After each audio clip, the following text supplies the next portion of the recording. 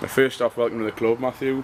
You must be. How do you feel about joining Blyth? Yeah, I'm delighted. It's a big step up from uh, playing for Washington last season, so I'm really looking forward to it. And yourself and the, the two new lads, you've all come from the same same league. Yeah. Do you think the three years will, will adapt into this league with the step I- up? I mean, it's a lot more physical, so you have to get used to it. But I'm sure moment we're all good players. So And obviously, your, your dad is the manager. Uh, we've had a couple of father-son teams here at Blyth.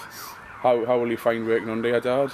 well, it's just like playing under any other manager on a Saturday, really, when it comes to the game. So it'll not be too big of a difference for me. So you'll not you'll not feel the extra pressure from the crowd with the sort of Well, no, not really. I'll just get on with it. I've took a lot of a piece of my time, so it'll be alright. And what's what's your aims for this season? Will you will you, will you be trying to nail down a, a starting role, or will you be happy with a spot on the bench? Or I'm pretty much trying to get in the team. Uh, as you say, hold down the starting role would be ideal for me.